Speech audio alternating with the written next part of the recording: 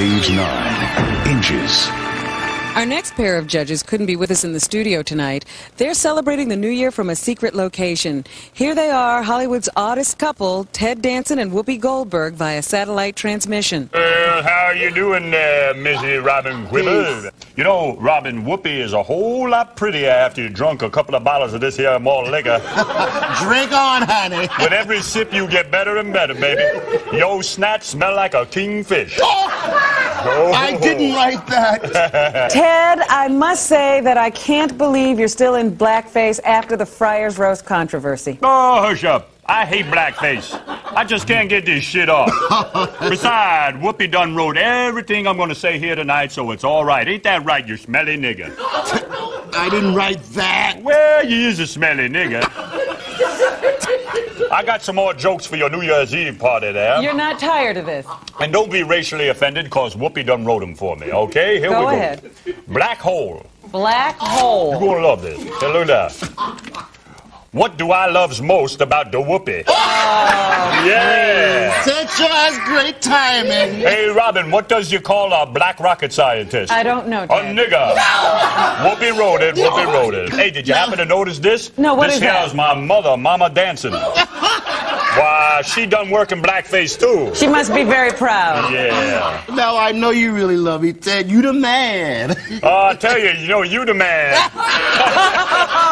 what done happened to Sherman's career?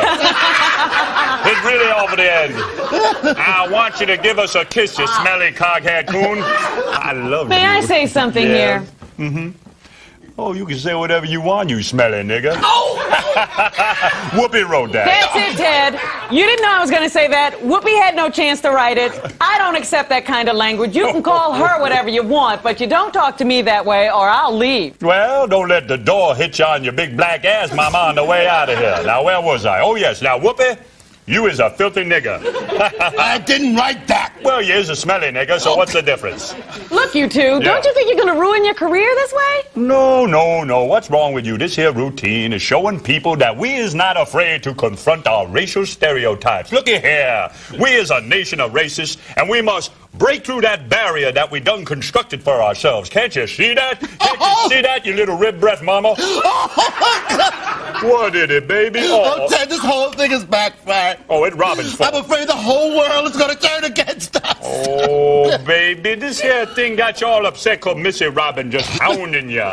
And you know I love you, and I love all people except the chinks. Oh, Now, you come over here. We're going to have a good New Year's. I'm going to take my fingers and stick them in that barbed wire you call pubic hair. Oh. I love you. I love you too, you bald, thick-skulled cracker honky. And I love you, you fat-lipped little baboon. Oh, and I love you, you blue-eyed Frankenstein. Honey, let me see your pussy. It am scary. Oh, dear. Spread your legs. I'm gonna pull down my pants. Come on, spread them wider.